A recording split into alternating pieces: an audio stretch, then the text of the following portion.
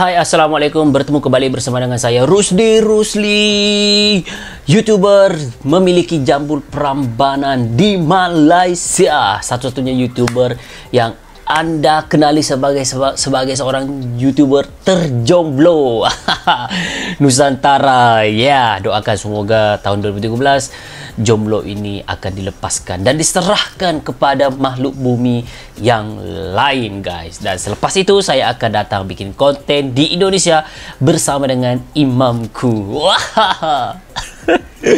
Amin berimpian bercita-cita itu gratis guys. Jadi selagi mana tidak merugikan siapa-siapa bermimpilah. Benarilah dan terus berjalan. Walau dunia tak seindah surga bersyukurlah pada yang kuasa.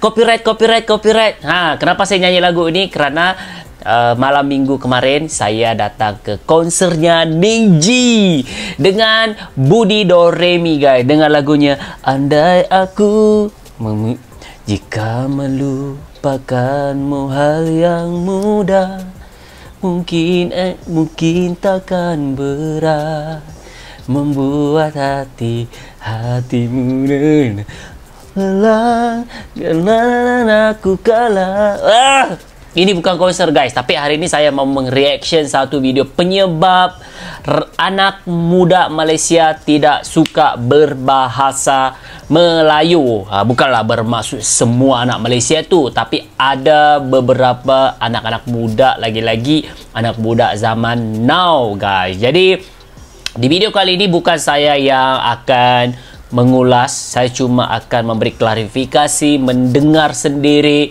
tapi adalah seorang profesor asal Malaysia yang akan mengatakan situasi sebenar bahasa Melayu di Malaysia. Bukan Rusdi Rusli. Ada yang netizen Malaysia bilang, kamu Rusdi memfitnah Malaysia, kamu memburuk-burukkan Malaysia, kamu menunjukkan Malaysia itu lemah di mata Ya Allah ya Tuhanku, video ini bukan tujuan melemahkan, video ini edukasi menyadarkan agar kita itu belajar apa yang kurang. Melemahkan itu apabila kita merendahkan negara orang lain, menuduh orang Indonesia di Malaysia itu seperti ini. Itu merendahkan, itu menghina namanya. Aduh, ya Allah ya Tuhanku. Kalau saya bikin konten yang betul-betul uh, kenyataan hilang semua netizen yang menghujat. Kalau saya bikin konten sedikit hadir datang menghujat saya sebulan seolah-olah saya ini tidak pernah melakukan dosa. Seolah-olah dia itu ahli syurga sesungguhnya. Astagfirullah. Okey, jadi sebelum itu terima kasih kepada anda yang hadir di sini memberikan like, komen, share dan subscribe. Terima kasih juga kerana memberikan video-video kepada saya sebenarnya untuk memberi nasihat kepada saya, peringatan kepada saya sekaligus anda mendengar sedikit mendiri klarifikasi daripada saya tentang apa sebenarnya yang berlaku di Malaysia biar anda tidak mudah terpancing dengan konten-konten yang mungkin kurang pas ataupun kurang akurat ataupun hoax yang ada di luar sana. Jadi supaya anda dengar sendiri di konten ini, ha ini yang terjadi kerana saya rakyat Malaysia, saya tinggal di Malaysia, saya berhubung dengan orang-orang yang uh, memang memperjuangkan orang Malaysia. Walaupun bahasa saya bahasa Indonesia, tapi nggak apa-apa kan ini konten saya, penonton saya orang Indonesia, jadi saya menggunakan bahasa Indonesia untuk memastikan komunikasi itu lebih berkoneksi begitu. Aduh, belajar bahasa Indonesia aja jadi ribut. Kalau orang belajar bahasa Inggris di sana kamu nggak ribut. Ini teman-teman Malaysia ini lah suka menghujat saya, siap pindah, minta saya pindah negara. Ada satu konten nanti saya akan buat di mana ada netizen Malaysia kirim satu email kepada saya untuk saya pindah warga negara Indonesia. Jadi menurut anda gimana guys? Adakah anda sudi menerima saya sebagai warga negara Indonesia? Ayo tuliskan di kolom komentar. Oke, jadi itu saja. Semoga kita cinta damai. Jadi ayo kita sama-sama saksikan video ini seperti apa dan kiraan. 3, 2, 1, jom! Penyebab milenial Malaysia suka berbahasa Indonesia dan ada sedikit malu berbahasa Melayu. Ingat ya, tidak Tampak semua. Ada beberapa. cenderung malas, bahkan malu menggunakan bahasa Melayu. Ya. Mereka lebih suka berbahasa Bismillah. Inggris atau bahasa Indonesia. Banyak sekali penyebabnya, mhm. -huh. antara lain karena bahasa Inggris dan bahasa Indonesia lebih populer. Uh-huh. Apalagi di zaman media sosial sekarang, Betul. bahasa Indonesia semakin berjaya terutama di kawasan Asia Tenggara. Yes, ini saya akui. Ini semakin guys. banyak milenial Malaysia yang berusaha setidaknya mengerti bahasa Indonesia atau menguasai bahasa Indonesia termasuk secara pasif. termasuk saya guys mengerti dan menguasai bahasa Indonesia penyebab yang lain adalah kemampuan milenial Malaysia yang rendah dalam berbahasa Melayu baku betul Akhirnya Melayu baku mereka sebenarnya menggunakan bahasa rojak atau campuran Sebentar Mereka ya guys. bahasa- Sebenarnya di Malaysia ni bukan masalah tidak boleh berbahasa Melayu, tidak bisa berbahasa Melayu. Bisa. Cuma menggunakan bahasa Melayu baku itu sulit untuk ditemukan anak-anak muda zaman sekarang bahkan orang-orang yang sudah bekerja di kerajaan itu juga sulit untuk mendengar menggunakan bahasa Melayu yang tepat guys tapi kalau bahasa hari-harian dia yang sama teman-teman itu bisa semuanya, tapi yang standar bahasa Melayu itu bisa dikatakan sudah mungkin sulit untuk dicari, guys. Daripada 10 orang mungkin ada satu atau dua orang yang mungkin bisa menggunakan bahasa Melayu dengan begitu baik sekali. Kalau yang lain itu semuanya parah, guys. Gado-gado punya bahasa, guys. Lanjut. Melayu dialek lokal dengan bahasa Inggris. Hmm. Selain itu, bahasa Melayu Malaysia sendiri juga belum berkembang, belum mantap, dan banyak sekali kelemahannya. Memang betul, guys. Belum cukup Sehingga mantap. bahasa Melayu Malaysia tampak kurang modern. Harus berevolusi nih bahasa Melayu ini, guys. Coba saja baca judul-judul berita berikut. Kosa kata yang dipakai terkesan masih seperti bahasa daerah. Kabinet Kosa kata yang dipakai dalam bahasa. Melayu Malaysia juga tidak efisien. Polis Tokoh-tokoh bahasa Melayu Malaysia terkesan berusaha mempertahankan kemurnian kosa kata Melayu. Tapi akibatnya tampak sebagai bahasa yang kuno. belum berkembang. Tokoh bahasa Melayu Malaysia pun hingga kini masih berkutat pada pembakuan bahasa di dalam negeri. Mereka berusaha memartabatkan bahasa di negara Malaysia Cintailah sendiri. bahasa kebangsaan Adapun kita. bahasa Indonesia sudah bergerak jauh, yakni mengembangkan sistem pengajaran untuk penutur asing. Mhm. Kelas bahasa Indonesia bagi penutur asing. Bahasa Kenapa Indonesia. bahasa Melayu Malaysia jauh tertinggal? Apakah Malaysia tidak melakukan perancangan bahasa Melayu? Oke. Mereka sebetulnya juga melakukan perancangan bahasa, Mhm. seperti disampaikan oleh Profesor Malaysia berikut. Oh, ada Profesor Malaysia. Bukan Rusli Rusli ya, Profesor Malaysia, guys. Jadi semua negara ini apabila merdeka menolak bahasa asing. penjajah Oh, bahasa dan penjajah. memilih bahasa masing-masing Mhm. untuk dijadikan bahasa rasmi dan bahasa kebangsaan negara yang baru muncul. Betul. Ini berlaku dalam akhir abad ke-19, awal abad ke-10 eh, ke-20. Ha, apa yang berlaku ialah jikalau Malaysia memilih bahasa Melayu, negara Filipina meng, uh, memilih bahasa Tagalog misalnya, uh, negara India memilih Hindi dan banyak lagi lah na- Indonesia memilih bahasa Melayu Indonesia Oh, bahasa apa Melayu berlaku Indonesia. ialah didapati bahasa-bahasa yang dipilih untuk mengganti bahasa penjajah ini didapati kurang sesuai memikul tugas-tugas dunia baru. Dunia baru. Tugas bahasa pengantar, tugas bahasa pentadbiran negara, Mhm. tugas uh, bidang ekonomi dan sebagainya.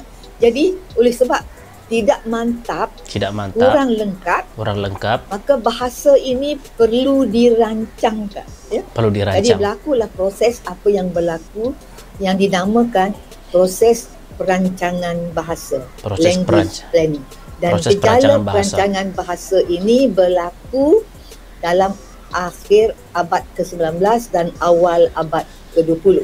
Dan selalunya perancangan ini di- dilakukan pada tahap kerajaan. Disusun Hmm, kerajaan. rapi Peringkat kerajaan dulu. dila- dijalankan, dilaksanakan oleh sebuah agensi uh, tertentu, uh, apa agensi perancangan bahasa. Kalau di Malaysia, agensi itu bernama Dewan Bahasa dan Pustaka. Dewan Bahasa dan di Pustaka. negara-negara lain adalah nama-nama Kalau di sendiri, Indonesia apa? BAPI ya. Tujuannya sama, iaitu BIPA, BIPA, BAPI pula. BIPA. Bahasa yang tertinggal kerana bahasa penjajah lebih penting ya mengangkat bahasa ini daripada bahasa biasa Mhm. bahasa penggunaan di rumah dan situasi tidak formal menjadi bahasa yang digunakan dalam situasi rasmi dan formal Sebentar ya guys.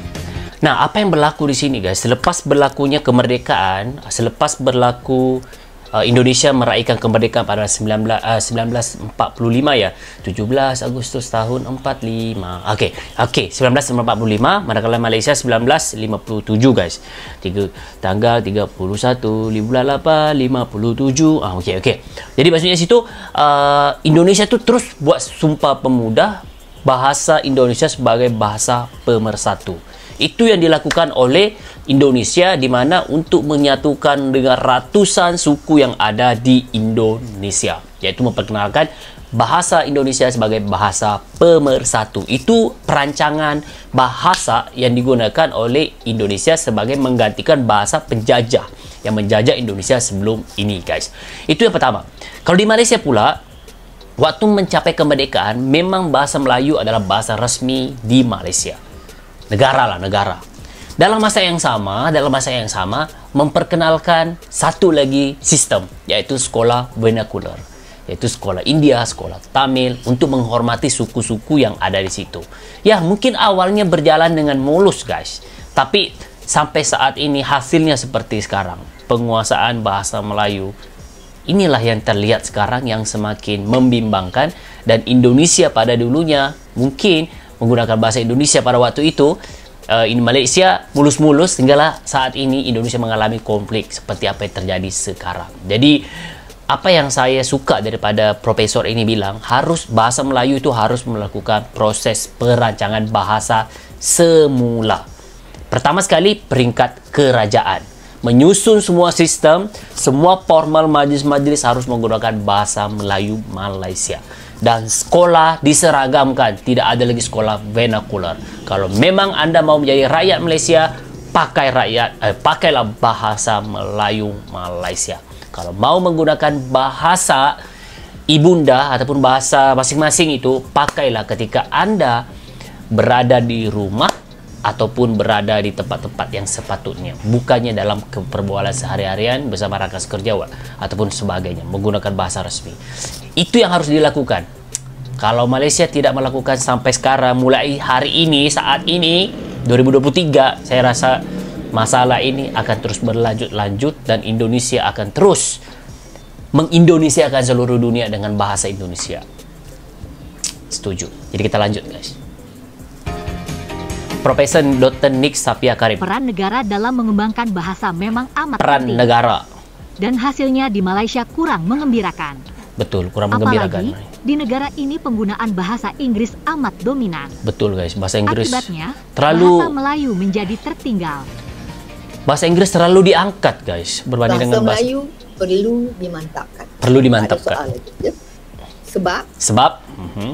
bahasa Melayu belum mantap ya dan untuk berjaya sebagai bahasa kebangsaan iaitu sebagai demi apa ni uh, maruah dan kedaulatan bangsa Ingat eh, bukan Rusdi Rusli yang cakap walaupun sebelum ini banyak kecaman-kecaman saya dapat bahasa Melayu tidak mantap, belum cukup mantap. Ini profesor sendiri yang bilang guys. Jadi saya ulang kembali, kenyataannya bahasa Melayu saat ini belum mantap.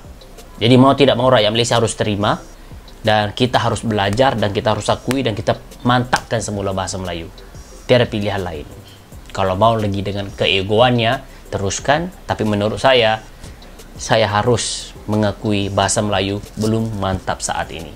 Oke kita lanjut. Melayu mesti dimantapkan. Betul.